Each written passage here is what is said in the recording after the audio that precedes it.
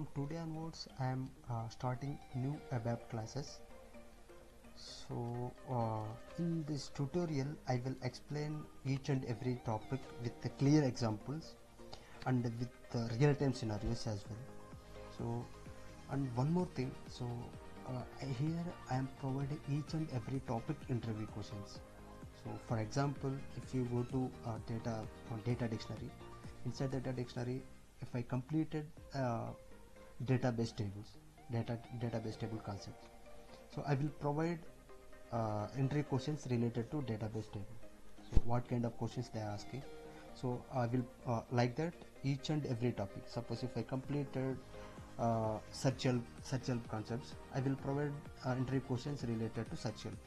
So like that uh, I am I am doing a videos for that. If you follow my videos you can crack any type of interview.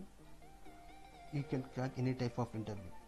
So I will show you what I will show you my video content. It means what uh, what topics I am covering in my videos. So this is about uh, ABAP training to ABAP training tutorial. First first concept is a data dictionary.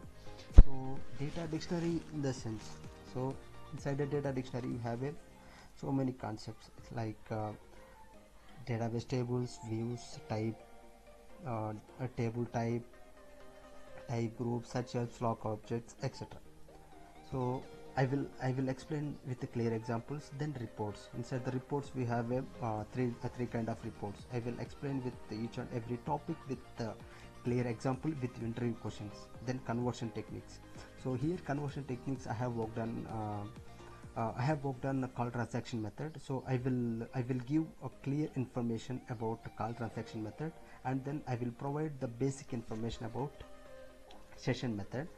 Here I will then I will provide interview questions related to conversion techniques then enhancement techniques. Here enhancement technique there are four kind of enhancement techniques are there. And I will provide each and every topic with the real-time scenarios. And then I will give I will give you uh, interview questions as well. Then next topic is smart forms so when you entering a smart forms uh, I will show you how to create a smart form how to how to insert a logo inside the smart form how to uh, how to debug a smart form how to call the smart form from the driver program. These kind of things i will provide each and uh, with the clear examples. And i will i will give interview questions as well so then next concept next next concept is uh, debugging skills. The debugging skills is very important topic. So every deb every ABAPer so they should know how to debug a normal report standard T codes background jobs. So I will I will give you the uh, I will give you with the clear examples and I will give you I will give you interview questions related to debugging. It means what kind of questions they are asking. So I will uh, give you uh, clear information related to debugging skills as well.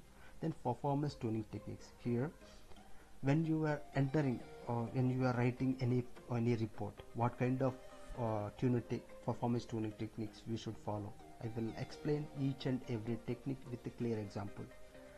Then final topic is uh, real-time project.